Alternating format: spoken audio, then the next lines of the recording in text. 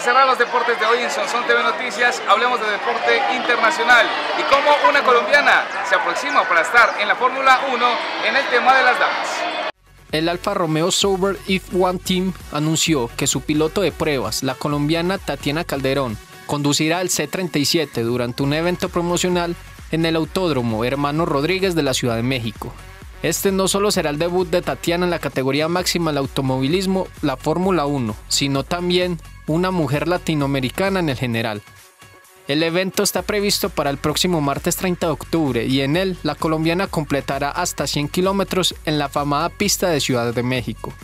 Estoy muy agradecida y emocionada por la oportunidad que me brinda Alfa Romeo Sauber F1, escudería Telmex Telcel Infinitum Claro para manejar por primera vez en mi carrera un auto de Fórmula 1, manifestó la colombiana en la página de su escudería.